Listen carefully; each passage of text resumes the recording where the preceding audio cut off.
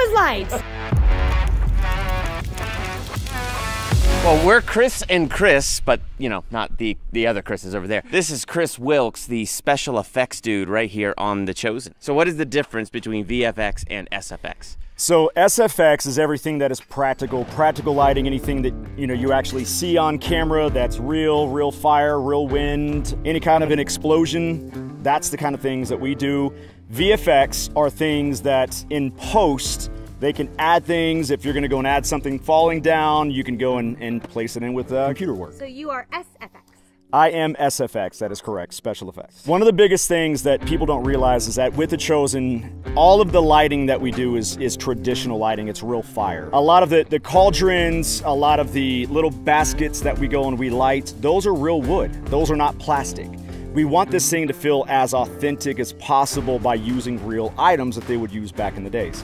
Well, in order to be able to do that, we need to make sure that, you know, the set doesn't burn down, especially in locations like this. There's hay, there's people, you know, we are in charge of, of lighting fire in front of, you know, 150, you know, crew members and also the cast and making sure that they go home to their families at night. This is what makes it safe to where we get a beautiful set with a lot of beautiful fire. Everybody knows that a little candle does not put out a lot of light, but this does. We have what we call stunt fuel. It will only light with the wick system that we um, have designed. Uh, it is a panther felt, which is a welding cloth that we go and we rip up and make it into these little balls. We have all of these hanging lanterns, and all they had to do is just bump into it, and all of the fuel goes and runs down their shirt. If this fuel ever goes and, and spills on somebody's fabric, clothing, all the way on the ground, you can light it all day long and it will not ignite.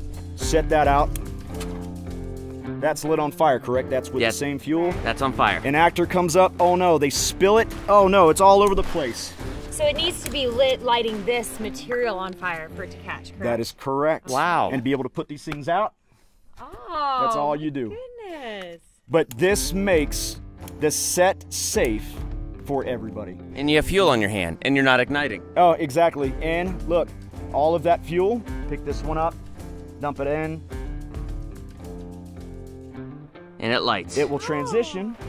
But again, if you spill, nothing. Nothing. We've got Chris here. He's going to teach us how to light some things on fire. This, in essence, this is what we call the surefire. No matter Surefire. what, we always know that fire is going to come out of here. Okay. This is going to act as your pilot light. Okay. Mm-hmm. You push this, flame will come out. We just make sure that it's a good flame. Okay. you guys tell us flame on. That way, it lets us know, you know, at the, the propane tanks Turn that you the guys have a flame that is on. Mm-hmm. We will turn it on, and there will just be a little fire. Flame on! Whoa! All right, come down a pinch. You give him the commands and you let him know how high that you want the fire to be for the scene. There's a lot of, you know, like right here, it's lighting up this whole space. Yeah. Well, we have another fire that's going here. Yeah. So you don't want this as intense as what it is. So you want to have this fire go down. So tell him, go down on this Uh, fire. go down, please. Little more? Oh, that is oh, perfect. that's so perfect. now look, so this fire is covering about half Yes. of this archway.